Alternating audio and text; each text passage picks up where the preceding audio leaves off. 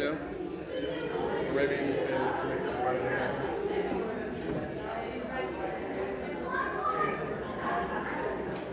Hey, Turner, who's Sarah? Who's Sarah?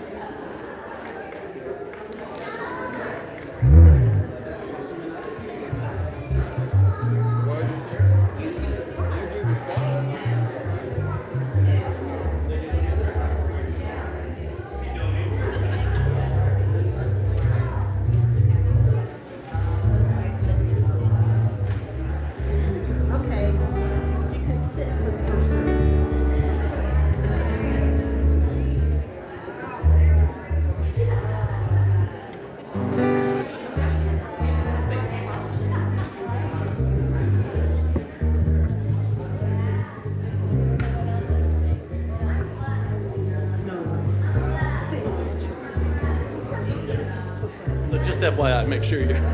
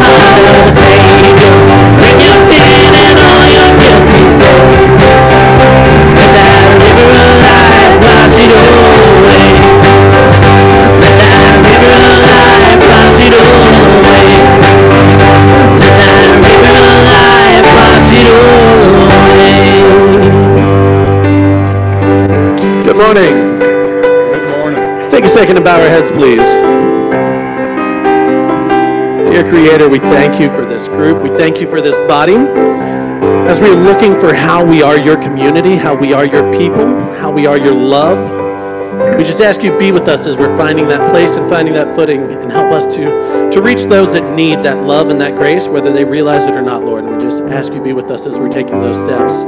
Uh, Lord, we just ask you and thank you for helping us survive October. It's been quite a busy one, and we just thank you for the ways that you have moved in this congregation to do so. We ask you to be with us as we're worshiping today. Help us to find your love and grace in the words we hear today. In your Son, Jesus Christ's name we pray. Amen. Hey, Carol, can we jump to the third song there? Build My Life?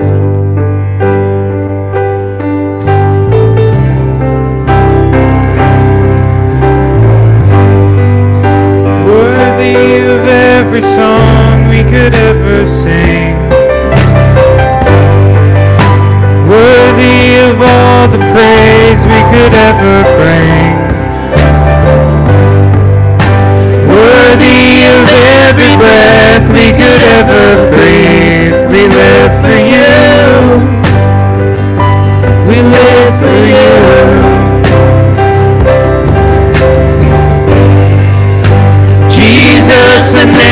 Above every other name.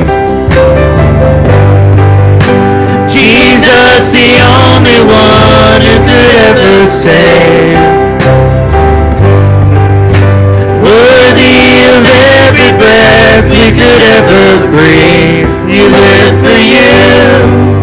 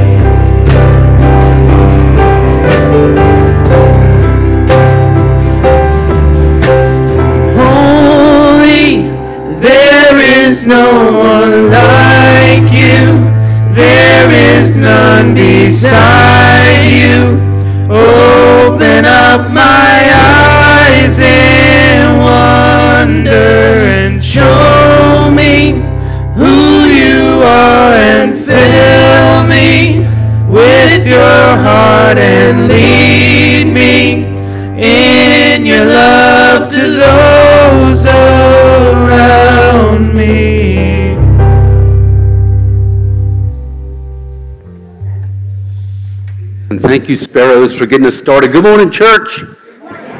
How are you this morning? This is the day that the Lord has made. Let us rejoice and be glad in it. Amen. Hey, so today we're celebrating. We're celebrating that it's almost the 31st day of October. Who's who's excited that October is almost over? John's, John's hand was up first, okay. So that's what we're doing for the first part of our morning together. We're going to be celebrating uh, the ministries that have been so successful because of you, the living saints, uh, working through the month of October and into this fall season. Uh, in the middle segment, we're going to be celebrating our new ministry initiative with communities and schools. And Executive Director of CIS Chesterfield, Ashley Hall, is here with us this morning. And Ashley's going to come bring us a word about what they do and how we can continue to be a part of that. And then in our last segment this morning, we'll be remembering the saints who claimed the promise of resurrection this year. And if you've looked at the back of your bulletin, you can see the impact of those losses on our congregation. Uh, so there are, I think, eight or nine folks from within the congregational membership, uh, but there are another 20 that are listed there that are close friends and family members of others that are part of our faith community. And so we'll be remembering them in the last part of our uh, worship together, and then we're going to have some lunch. Baked potato bar, we got lots of desserts, and uh, I'm real excited about eating potatoes with, do we have steak? Sure. Friends, let us pray for the day. Holy God, we give you thanks for the gift of this day. We pray that you'll pour out your Spirit upon us. We have come to celebrate you and the gifts that you give us and how you are calling us to uh, spread the good news and be the kingdom of God in this community in Chesterfield. Make your presence known today. Come, Holy Spirit, come. Amen. Friends, if you're able, let's stand for our call to worship. It's a responsive uh, call and response.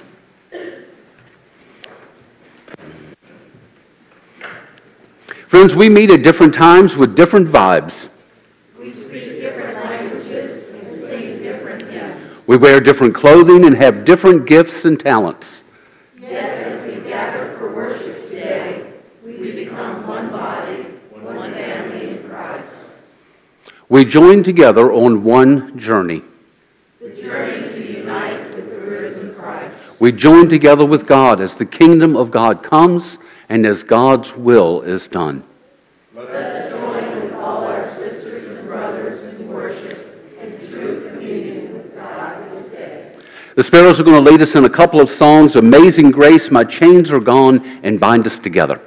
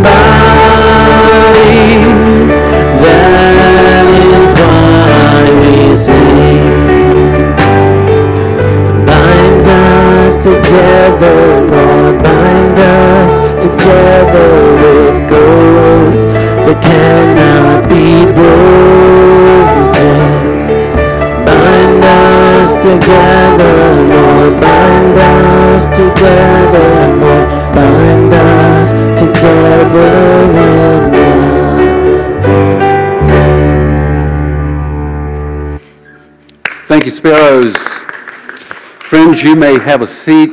Make yourselves kind of comfortable, but not too comfortable.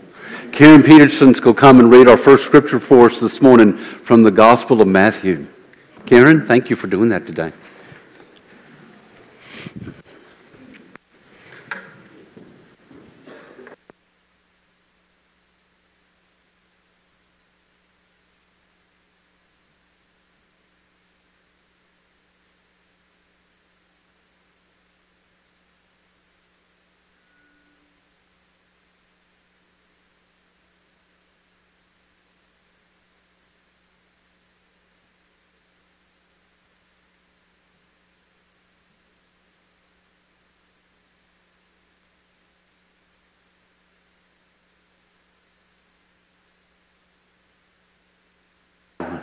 Amen.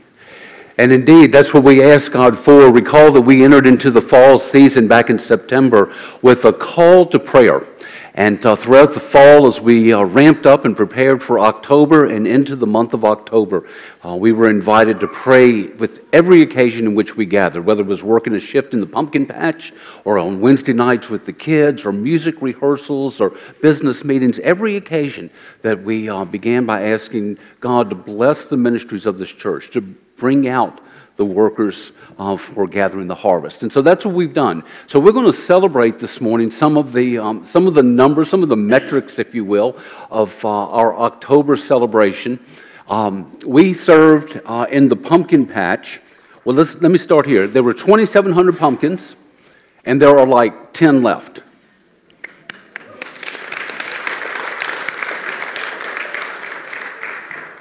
And so as soon as church is over, you, go, you can go get those last 10. Okay? We had about 120 volunteers that showed up on uh, that day in September, right before October 1st, to unload the tractor trailer of those 2,700 pumpkins. We had folks from the church, from Girl Scouts, Cub Scouts, the Boy Scouts, the Robotics Club at uh, L.C. Bird High School, and others who just um, happened to be driving by and saw that we were having a good time in the front lawn seriously, uh, and stopped to help. And, uh, and so we had about 120 people that helped unload that truck. Uh, throughout the month of October, we've counted about 60 people who have served in the pumpkin patch, um, meeting new folks in the community, being uh, emissaries of Trinity Church, and four or five of those are not even members of our church. Uh, but are connected peripherally or just wanted to be a part of it. Um, we've been doing this for 29 years, is that right, John? Something like that. I think, actually, I think last year they told me it was 29, and the year before that it may have been 29 too. It's still 29. We've been doing it for a long time, and the community, as you guys know, know us as the Pumpkin Church. Uh, in fact, in my very first conversation with uh, Tanika at Salem Church Middle School, I was trying to describe to her where we were located. She's only lived in the community three years. And I said, We're across from Wells Fargo Bank. And she said, Oh, the church that has the pumpkins. Said, Yes, we're the church who has the pumpkins. And that was in August, okay? That wasn't even in October. Um, we figure, um, just based on the number of uh, sales, the number of transactions, that we encountered about 700 um, community members uh, at the pumpkin patch this fall. 700 different households that came and purchased pumpkins or mums uh, during the month of October. And that's a tremendous outreach. That's a tremendous connection with our community uh, when we do that. And so we want to celebrate that this month. Uh, we also want to celebrate um, yesterday, the Fall Festival. Where's Vicki? Yesterday, the Fall Festival, we estimated 200 people came yesterday. Yeah. And, and that is considerably more than the year before. And uh, I think this is one of those things that, um, like some of the other October ministries we do, it's building up a little momentum on its own. Uh, kids and families know that they can come and hang out for an hour, two hours with us uh, in safe space. Uh, and do trunk or treating and play games and things like that. So, thank you to all of you who helped to make that possible yesterday. Uh, two weeks ago, um, we had uh, Brunswick stew and apple butter be made in the same day. Uh, 22 people, including two non members, made and sold 520 quarts of Brunswick stew, and about 40 people made and sold 256. That's right, 256 uh, pints of apple butter. And all that was done on the same day in the pouring down rain. Yeah. Um, so part of, part of recognizing and celebrating this is just to acknowledge the work that you have done this month uh, to foster the, the spreading of the good news and goodwill within our community and just doing that kind of community outreach where we're connecting with our neighbors and building relationships with them uh, and just kind of loving on them. Uh, because all of these things, other than some of us who got a little bit wet on that day, um, all of these things are full of joy, right? They're full of joy, and people come and they have a good time and they're smiling and laughing. We're doing the same with them, whether it's in the pumpkin patch or the fall festival or giving them some Brunswick stew. So thank you all for that very much. I want to show you too. Um, so you know, we often talk about the money, and I promised John I said I'm not going to talk about the money today, uh, but I do want you to know where uh, where the money goes. So the money that's raised from pumpkin sales and Brunswick stew and apple butter uh, is distributed back into the community. Uh, there's walking assistance with folks who just show up and need uh, help with uh, food or gas for their car. Uh, we do support uh, UMCOR, the United Methodist Committee on Relief, Disaster Relief. But we do summer camp tuition for children who are differently abled. We support the Scouts, Chasm, the Place of Miracles Cafe, SOAR 365, Heart Havens, UMFS, all of these are groups that the effort in October goes to support, and very little of that money actually stays in the church. It's separated out to different groups like the United Methodist Women and the fellowship class and the men, uh, but it all gets redistributed back out in missions to the community. And, uh, and I just want to, I want to thank you guys for making all of that happen this month. Give yourselves a, a round of applause.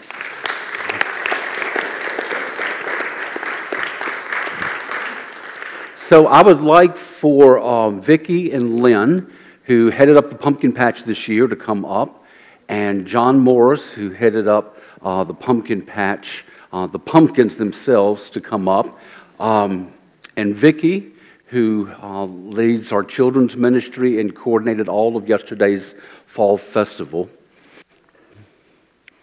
So you guys should know, as um, Vicki and Lynn are making their way to the front where everybody can see them. You guys should know that we held multiple committee meetings, as the churches want to do. We did uh, um, congregational surveys. We did random interviews with folks as they came and went during the month of October, trying to decide what the most appropriate uh, gift of recognition would be for each of you to receive uh, for your work this month, and we decided oversized pumpkin pies.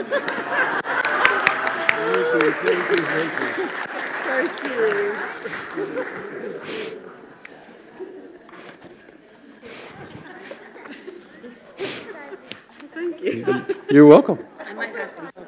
You might have some help. Yep, yep, yep.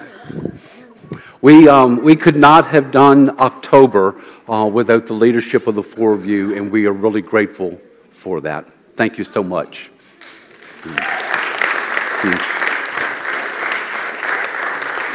You need to hold on one second. Karen? Karen Poole? So John is also the stew master in charge of those 520 quarts of Brunswick stew that we made. Uh, Karen oversees the fellowship class. She has lots of help, and John will tell you the same thing, uh, that there are lots of people that are involved in making these things happen. Um, I'm missing a bag. I bet here it comes. Mm-mm, here it comes. Okay, so um, those same surveys that we asked the congregation, like what we should give you guys for your leadership, can I open this for you? No, you open it. I'll hold your pie. How about that? I'll give it back. So John's in charge of the Brunswick stew, and Karen is in charge of making apple butter.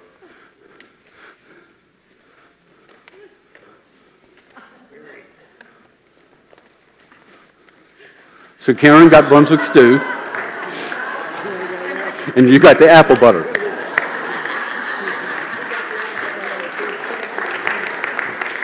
Hmm.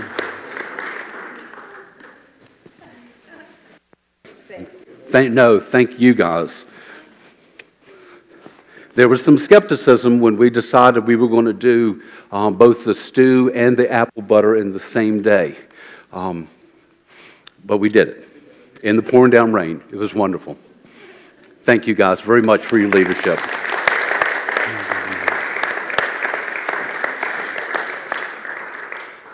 Kids are getting ready to come and sing, uh, but before they do that, or while they're on their way, I want to pray a prayer of thanksgiving today. Um, so let's do that. Holy God, we give you thanks for uh, calling and equipping and empowering your people to be spreaders of the good news, to be uh, harvesters, to be advocates for community development, for being present when the invitations are issued. Hmm. We've talked, oh God, about what we'll do with our invitations. Will you see how this community of faith responds hmm. with the invitations that they've been given? Thank you, oh God, for placing generosity in our hearts and a sense of gratitude within our purpose in our ministries. Hmm. All of these things we name in thanksgiving in the name of Jesus Christ. And all God's people said, Amen. Amen.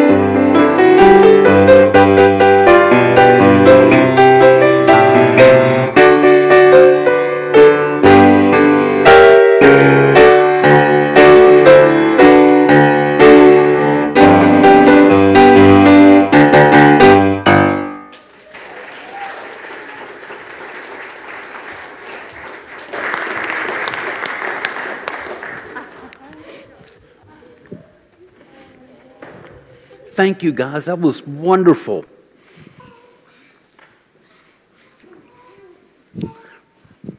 So, you guys have heard me say this before that one of the things that uh, I value most in this faith community is our Wednesday night children's ministry. We bring kids together uh, with uh, responsible adults and teach them Christian community. They share a meal together, they play together, they study the scriptures together, and they learn to sing and worship together. And it's just a, a very powerful testament to how we make disciples and form them and shape them uh, in the life of the church. And so we're really grateful for that ministry. Some things in the life of our community I wanted to um, share with you this morning. The Chasm collection of um, for the uh, Thanksgiving meals. Uh, we're gather, We're still gathering bags through December. December. November the 12th. That's two more weeks from today. And um, money, if you're making a monetary contribution instead of bringing the bag of groceries, that's due today. Uh, but the groceries will be gathering for two more weeks, and you can just put them in that back corner over there. Uh, we are, of course, always continuing to gather uh, for our support at Salem Church Middle School, the Communities and Schools program there. Uh, next Sunday, uh, in this space between worship services, uh, beginning around 9:30 a.m., we'll be putting together kits for the homeless. And uh, on the table going out, if you didn't see it coming in, there's a list of things that we need for those kits. Uh, so if you'd pick one up and uh, see if you could do a little shopping this week, that would be uh, greatly appreciated. Um, Stephanie Griffith will be leading us in doing that next Sunday morning in between the two services. Um, yes, ma'am. There's a microphone here if you need it.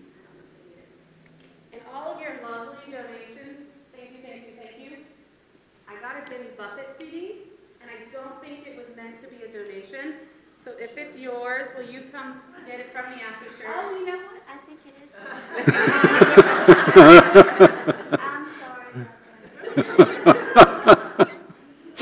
sorry. thank you, Vicki. And, and thank you, thank you, Shelley, for owning that. You know.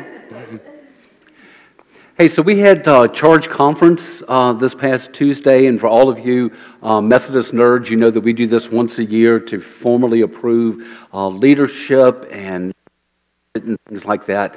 Uh, so we had that down at Chester Church with other uh, United Methodist churches in the community. Uh, but one of the things that we did there was we finalized our leadership for next year. So I want to just ask the current uh, leadership board, if uh, you're here this morning, if you would just stand so that we can recognize you.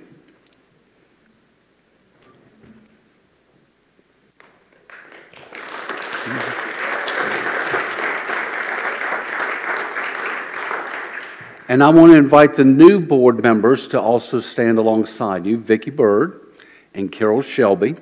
Uh, also, um, Carol Shelby, I did it again, Carol Shepard, I'm sorry, Carol. Um, Shelby Coleman and April Brockman. Where's April? There she is. April Brockman. So they will come on. Um, they will come on board effective January the first, uh, but they're actually going to start work next Saturday. Uh, we have a, a, strategic planning session with uh, Chris Bennett of the Spark Mill, and uh, they'll be a part of that next Saturday as well. So thank you all for your leadership and for your service to Trinity Church.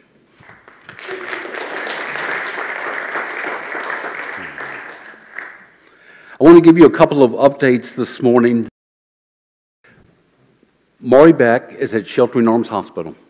He was uh, released, discharged from MCV on Friday evening uh, to begin working on rehab at Sheltering Arms, and um, everyone is really excited about that, including Maury. He was ready for a change uh, after six weeks at MCV. Uh, Pat Madison is still at St. Francis Hospital. Uh, as of yesterday, she had been placed back in intensive care to try to manage her blood pressure. Uh, and uh, Pat is our music director. And uh, David Bailey, who we've been tracking for a week or so, is right here this morning.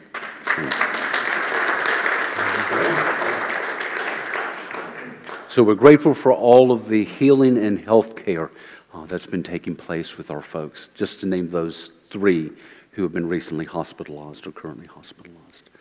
Um, the ushers are going to come and gather our offering. The sparrows are going to sing us a song a Jason Mraz song, which just tickles me to death. And, uh, and before we do that, let me pray for us, friends.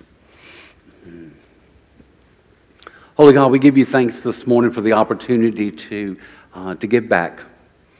We are grateful for that which you have blessed us with, not just um, monetarily, but um, passions and desires and um, motivations, skills and talents and gifts. And these things we offer to you when we participate in the life and the ministries of this church. And we also promise to pray for the church and for, for your work. We promise to be present. We promise to share our gifts and our talents and to bear witness to the good news. And so this morning, as we offer our gifts and the ushers come around, we give you thanks for this opportunity. May these gifts be multiplied and may they be used to further the kingdom. May they be used to build up our community. May they be used to feed the hungry and clothe the, the naked and house the homeless. All in the powerful name of Jesus, we offer these gifts. And all God's people said, Amen. Amen.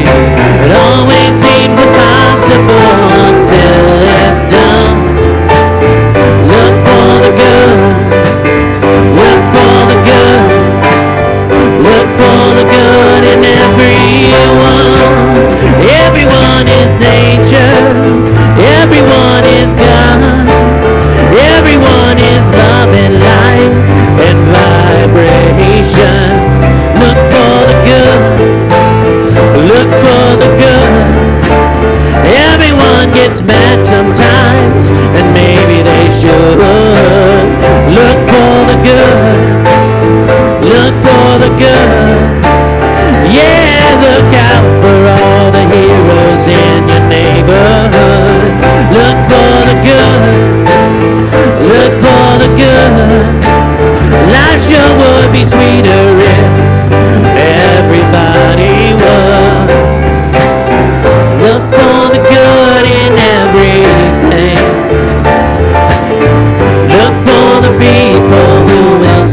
set your soul free. It always seems impossible until it's done. Look for the good in everyone. Look for the good in everything. Look for the people who will set your soul free. It always seems impossible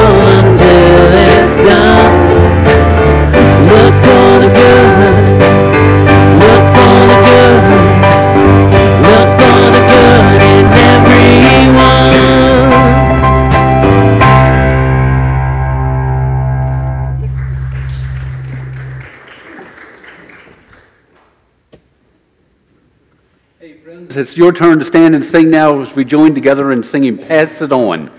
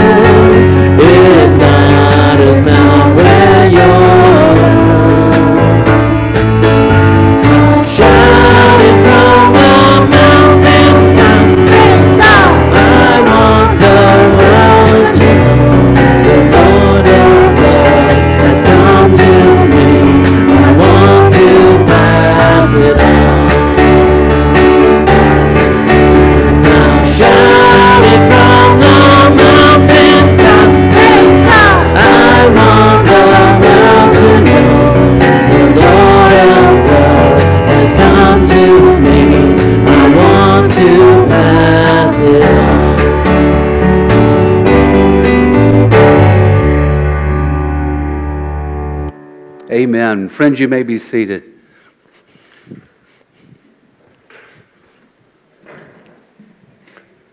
Judy's going to come and read us a passage of Scripture, one of my favorites from uh, the writings of Paul in chapter 8. I want to introduce Ashley, though, Judy, before you read um, and set the stage for, for your reading, okay? Ashley Hall is Executive Director of the Communities and Schools in Chesterfield County, and she has a long history, uh, well, long is relative, I guess. She has a, a, a professional history of collaboration and community development, and uh, we're grateful that she is working now as a part of the Chesterfield community. In addition to her professional work here at CIS in the past, in recent past, she has led the Capital Region Collaborative. She served as Director of Strategic Engagement at the United Way of Greater Richmond, and uh, earlier in Guatemala as a Peace Corps volunteer.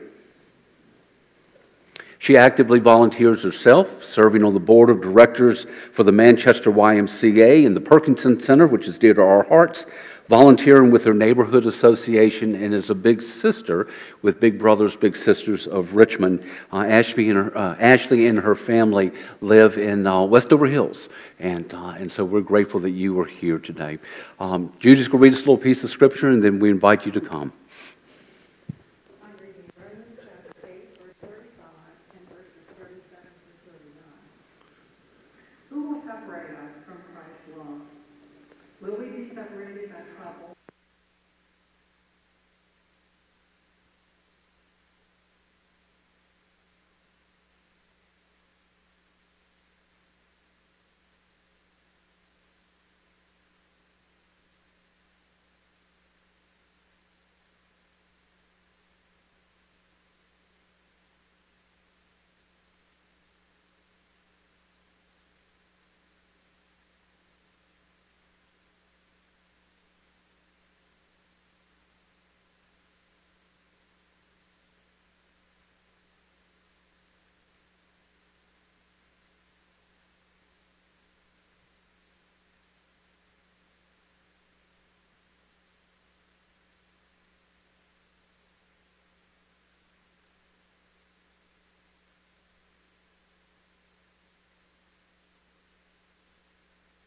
No? Oh, there we go. All right. I feel weird with my backs to you guys. I'm really sorry.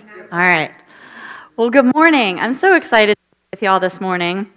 It is such a beautiful space that we're in, and I my heart having those kiddos sitting back here. I've never um, been in a church where where that happened. and I really loved that. That was awesome. Um, I have to tell you too. I always I do a lot of speaking as the executive director, but I always get excited when I get to be at a church service. My grandfather was a pastor, so I always feel like I'm channeling him a little bit um, in these moments. Not probably doing nearly as well as he would do, but excited to be with you all. Okay, so we'll go ahead and jump right in. I wanted to thank you guys first and foremost on the start of this partnership with communities and schools. I know um, some of you have started coming over to Salem um, to kick with us, which is incredible, and have been doing some things around some of our basic needs support too. So I look forward to giving you kind of a um, higher scope around our work today and really kind of kicking off this partnership. So our mission really is to surround communities, is to surround our students with a community of support, empowering them to stay in school and achieve in life. It's really about making sure that we can address any of the barriers that our students are having to being successful. So we're part of a national organization, which is incredible because we have colleagues all over the country doing this work and considered the largest and most effective dropout prevention program in the country. But what I love is that everything we do is hyper focused on Chesterfield. We're understanding the strengths of our community, understanding the needs, and everything we do about what's happening here in our community, specifically at the 13 schools where we serve. So we serve students across those 13 schools.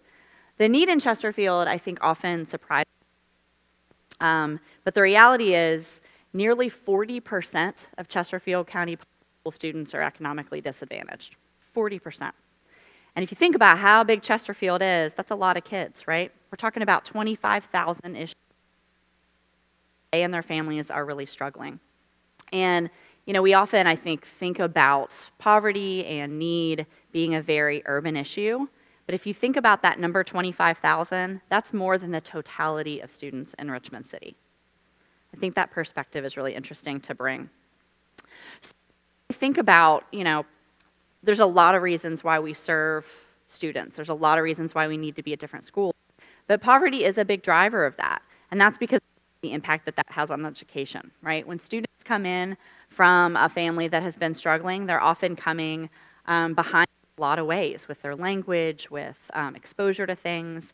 There's often um, a lot of instability in other areas, whether that's their housing, healthcare, you know, the types of things that they're dealing with on a regular basis. And we know that that connects to how they do in school.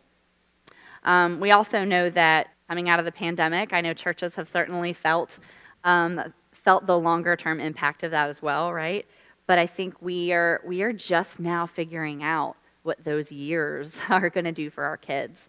I was at a really um, interesting seminar a couple of weeks ago with um, a brain scientist who talked about all the work that they've been doing literally looking at how brain scans of kids have changed in that time frame that literally points of their development have stopped and i think we're really still we're going to be figuring out for years to come how that is going to impact our kids so a couple of you have had the chance to go over um, and meet tanika and be you know at salem church but i thought maybe i would bring a little bit of a school to you so we have got a video crossed fingers will work um, that's actually from last year at um, one of our other middle schools falling creek middle so I hope it will play. Yeah, but if if he wasn't there, um, it'd probably be it'd probably be a lot harder than it should have been.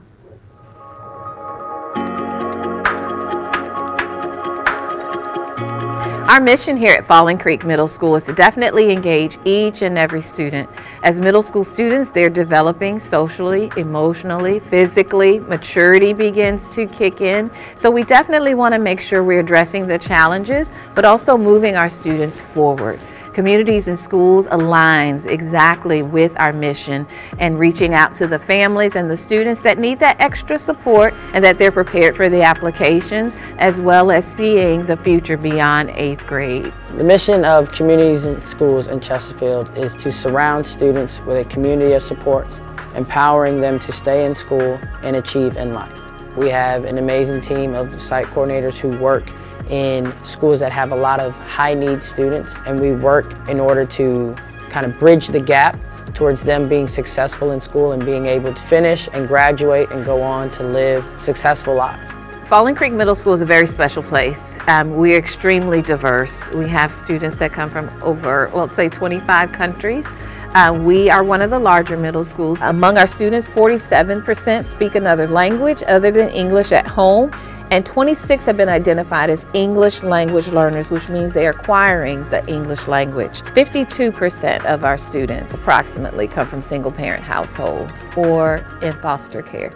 So there's always a need, um, always a challenge that needs to be met. This is a Title I school, meaning that a majority of our students and their families come from lower income families. It's an amazing group of kids who recognize their potential and where they can go sometimes I get to a good point and sometimes I get to a bad point. And when I'm at that bad point, Marty's there to help me out and he helps out other kids too, not just me. Mr. Marty's caseload, and I say caseload because even though he reaches all the students in the building and is familiar with all of them, there are specified students that have been assigned to Mr. Marty through the CIS caseload where attendance may have been an issue of concern, classroom behavior may have been an issue of concern, and just those students that are hard to reach. And Mr. Marty has made an effort to build relationships with those students, which keeps them in school holds them accountable with grades. If there are any family needs, Mr. Marty is able to address that. It's a multi-tiered approach. The, the first tier is I work with the school as a whole, uh, providing different needs that could benefit our student population, also our teachers. Then we have tier two in which we work in small groups um, and working to identify groups of students who kind of have similar needs that we can work towards helping them empower each other and find success. And then tier three is our one-on-one -on -one level. And I look to find students who I can work with, who I can help kind of bridge the gap and fill in those areas. He checks in on like, on how I'm doing, how things are at home, how things are here, if I'm in a good mood or a bad mood. We talk about if I do have a problem or if something's like happening, we talk about it. It just feels good after we're done talking because then I feel like a new person and I feel fresh after the talk. Having the site coordinators at the schools, if you didn't have them, the program wouldn't work. Sometimes the children are, are surprised to learn that, wow, these adults have gone through some of the same things I've gone through. I enjoy speaking with the students and I enjoy being able to help them out. I enjoy uh, looking back and seeing the world through their young eyes again. And that's something, some of the stuff we forget as we get older. It's all about getting a specific plan for each individual kid. And so I would meet with the kids on my caseload. Some of them I meet with them once a week. Some kids I feel like I meet with them every day. Other kids, we've built up a rapport to where they know that I'll check on them every other week. So it's really about having an individual plan that works best for each student.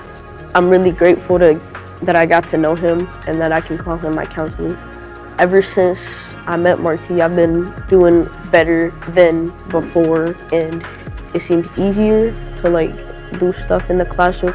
Whether it's just visiting a college, whether it's getting exposure to careers, or whether it's just getting to value their education, my job is to kind of bring everything together from the people, the resources, and the community as a whole to empowering our students to have the best life possible for them. Love that video. I think it um, shows the work so nicely. I'll also say, too, since you all are interested in mentoring, that the woman who was on there um, briefly talking about the power of it, she has been a mentor with us for many years. And the girl who kind of had her back to us because she was very shy about the video, she, um, they've been together since she was in elementary school, and now they're at middle school together. So she's kind of been following her, which is really cool. Um, uh, Carlos, Mr. Marti talked a little bit about this, so I won't go into it. But really, the way that we um, do this work is we kick off the year with a needs assessment, understanding what those needs are from a school perspective and then from individual student perspectives.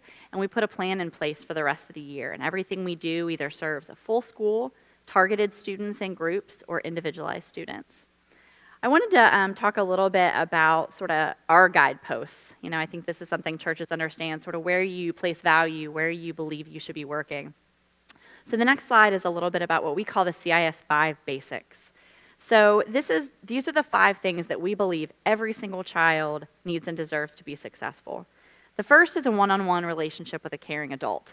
So this is, research shows, the number one reason why a student who's struggling or from a challenging background can thrive. The number one best predictor of success is having someone consistent who's there for you. I think probably all of us in this room um, can point to or think about somebody from our past who was really influential for us. So when we think about that, of course, that's our site coordinators. We have one or two in each of our schools. Um, but that's also mentors that come in, tutors that come in those other adults in the community that are showing them that they have value and matter and, and, and support them. The second is a safe place to learn and grow. You know, many of our students are coming from really incredibly hard situations, um, often surrounded by violence, drugs, gang types of things, you know, housing instability, and we really work to create a space in our schools, in partnership, of course, with the schools that feels really so safe and welcoming. Um, we do things like create mindfulness spaces so kids have, um, if there's a, a, conflict or there's something going on at school, they can pop into that space for a few minutes and calm down and have access to some tools there. Um, we do conflict resolution groups. We do, you know, all sorts of things like that to help kids really build their skills so that they can go out and deal with some of the hard things going on, right? The third basic is a healthy start and a healthy future. Um, that was reflected, I think, a lot in that scripture a bit, but we know that kids can't learn if they don't have their basic needs met. So we really work to make sure whether that's food, weekend food backpacks, eyeglasses, um, you know, beds at home. We just with a, a partner of ours to deliver 150 beds to students. Can you imagine not having a bed to sleep in or sharing with multiple siblings? Like, of course, you're not waking refreshed and ready to go to that algebra class, right? Um, some of those are, are interesting, and we've seen such a, an increase in those from the pandemic. But sometimes those can be can really solve a problem quickly. Um, I think back to a student we had who was that student that every teacher in the building knew about, and he was a, he was a young one, y'all. He was in pre-K, so he was already known in the building for um, really disruptive behaviors and kind of having these like freakouts. And you know, site coordinator got to know him and realized that she thought maybe he was having struggles seeing. So we connected with our partner, got him eyeglasses. When the doctor came, they said, This is the close, closest to legally blind that you can be. This kid is freaking out because things are coming at him all the time and he doesn't know what they are. The second he had glasses, no more behavior issues. And we don't often have like quick wins like that. So when we do, it's like, yes, this is amazing. Um, but it just goes to show, you know, before we kind of label a situation, how do we dig in a little bit deeper to understand it? The fourth is a marketable skill to use upon graduation. You know, I think about how are we igniting passion in our students? How are we helping them get the skills? Yes, our goal is that we get them to that graduation stage, but day after that, right? So we do a lot to do, you know, providing tutoring, literacy programs, leadership skills. You know, we take our kids on enrichment trips. That's something that happens so less often at under-resourced schools to be able to go visit a college campus or go, you know, see a, a business in action at their place of work. Really try to provide some of those um, equitable opportunities to see their futures. And the, the fifth one is my favorite, a chance to give back to peers and the community. And I really love this asset-based approach that we take. You know, we believe that every one of our students has something that they can contribute. So we do things like create volunteer and leadership opportunities for them. Um, one of my favorite, and he didn't talk about it in the video, but it's under, it's uh, Falling Creek Middle and Falling Creek Elementary are right next to each other. So our site coordinator, um, Carlos at the middle school, identified some of his students who he knew were, you know, leaders in the school, but not always the best reasons. Um, and then our site coordinator at Falling Creek Elementary identified a group of kindergarten boys who were already kind of starting to act up a little bit and paired them in a, or paired them in a near peer program. And for the first time, all those boys at the middle school were like, wait, I'm the leader, I'm a mentor. I mean, they couldn't believe that that in that way. And it really changed kind of the way they approached things, which was cool. So um, I'll share a little bit. Uh, our outcomes are up on the stage. I love that you referenced your metrics from all the stuff you guys are doing in October.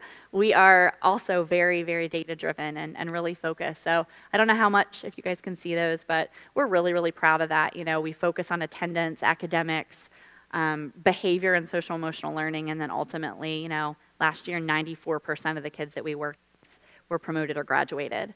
And those kids that are those case managed kids that we track numbers on, those are our hardest to serve kids. So for 94% to move on is really, really, really incredible. Um, the next slide is a little bit about ways to get involved, and I know you all are already getting started with some of that. But I will highlight and maybe can even send out an email afterwards, Pastor Allen, with some upcoming events, opportunities to get involved. We do a bus tour where you can actually get on a yellow school bus and we go visit three of our sites and you can kind of see the work in action because it's so much better than just me talking about it. Um, we have other education opportunities. This year in particular is going to be um, really exciting. It's our 30th anniversary. Um, so we are going to be having things all throughout the year that focus on education and volunteering and celebrating um, and are just so excited for those opportunities. So we'll share those. Um, the last thing I wanted to share, kind of before I close out, um, you know, I was thinking about you all um, taking this mentoring journey and, and the, the power of relationships. And I was thinking about something that happened at the end of last year that I got to witness, and I wanted to share that. So, more than a decade ago, we had a student, we'll call him Khalil, and he was over at Chalkley Elementary. He had a much older brother who was in and out of jail, um, lots of issues with law enforcement, um, was involved with a gang, just some pretty, pretty hard stuff at home. And Khalil had um, a single mom who was working jobs, and she loved him dearly, wanted every opportunity for him. Her time and resources focused on sort of the older brother. And, you know, as a result, Khalil was acting up quite a bit at school and really kind of got labeled attention seeker. Um, he was disruptive. He was really doing pretty poorly academically, kind of socially awkward. And our site coordinator kind of pushed back and said, he's not attention seeking, he's relationship seeking. So she started to put in a number of um, interventions in for him around basic needs and academic support. But the big thing is she matched him with a mentor, Miss Conrad. And they met for several years, um, once a week, talking, reading, they did a lot of reading together, playing games. They really built a pretty incredible relationship. So at the end of fifth grade, we had to say goodbye to Khalil because at the time, not now, but at the time, we were not yet at Manchester Middle, where he was going to go to. So we sort of sent him off into the big wide world, hoping he would make good, good decisions and, and get across that graduation stage a few years later. So fast forward to the beginning of last year, we were working with our site coordinators doing some data mining, looking through what students are having academic or attendance issues. Where do we kind of need to start, you know, at the very beginning with those supports with CIS? And when we were looking over the list, we saw Khalil's name. He was a senior. He was very behind on his credits, and he had basically stopped coming to school. So we encouraged Miss Lee, who was his site coordinator at Meadowbrook, to reach out to him, reach out to his mom, see if we could get him back in school and back on track. And she did. She took him a consent form um, for CIS and said, I'm here to support you. I will walk with you every step of the way until we get to that graduation stage. And he came to school the next day with his consent form in hand. Every day from that point on, Miss Lee checked in on him. Sometimes it was for big interventions or big things going on. Most days it was just a good morning. I am so glad that you're here. And he started coming to school regularly, started doing better. Towards the end of the year, I got to go over to Meadowbrook and I had the chance to meet Khalil. I explained, you know, that I was the executive director and who I was, and the first question he asked me was, "Do you know Miss Conrad?" His mentor from a decade before. And I did, in fact, because she is still no longer a mentor, but is still a supporter of communities in schools. And I said that I had heard about him through her. And he talked to me all about how much he remembered reading with her, how powerful that had been for him. So then I asked him how things were going with Miss Lee, his site coordinator. And his quick response was, I would not be here without her. I went out on quarantine, and being home was so much easier. No one really noticed that I wasn't here, but she did and I come to school because of her. And I'm really thrilled to say that Khalil graduated in May. Yeah, really good story. I know. Um, I'm really proud of those outcome numbers that were on that slide. Um, but more than that, those statistics represent thousands of stories like Khalil's. So thank you for being part of it with us.